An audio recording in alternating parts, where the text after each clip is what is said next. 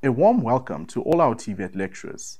I'm Prashant Ramdas from Macmillan and today I will tell you all about the changes to the Building and Structural Construction N6 curriculum. Later I will show you how the TVET First BSc Students Book and Lecturer's Guide, which have been approved by the DHET, will help you implement the new curriculum perfectly.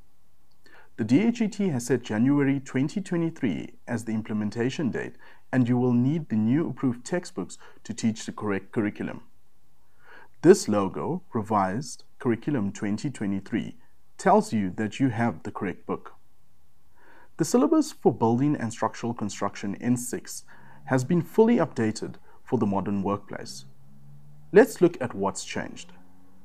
The new curriculum has three aims.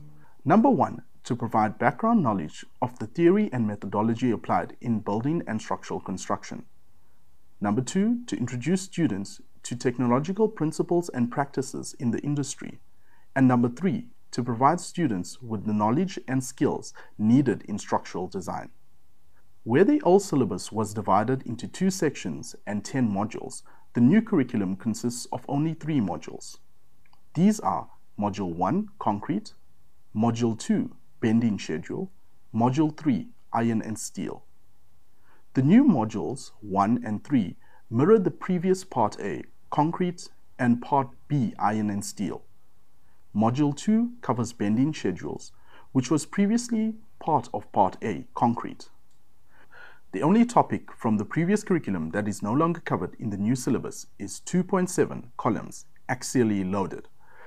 This module dealt with the universal steel columns, rectangular tubular steel column, and pipe columns with gusset plated bases on reinforced concrete bases.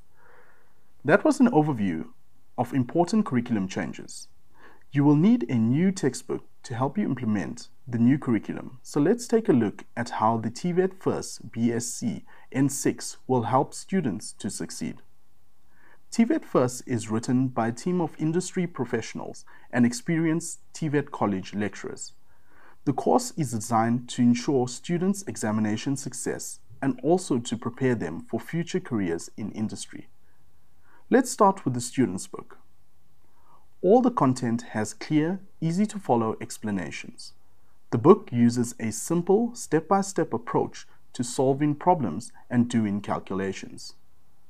For example, to learn how to prepare a bar bending schedule, or BBS, students are shown how to work with shape codes, interpret the columns in a BBS, and then how to work with diagrams and specifications to do all the calculations to prepare a BBS for a particular item.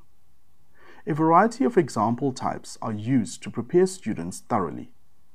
There are varied activities for each section, ensuring that the students have lots of practice in all the methods they need to master. There are plenty of photographs and diagrams to support learning. Each module ends with a summary. Students can review all the summaries when they revise for exams to remind themselves of all the key information and skills.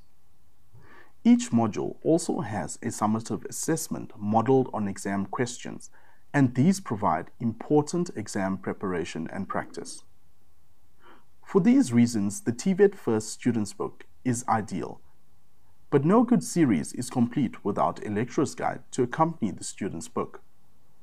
TVET First has a comprehensive lecturer's guide, which provides resources to reduce preparation and marking time for lecturers, allowing lecturers to focus on where they are needed, which is teaching and supporting students.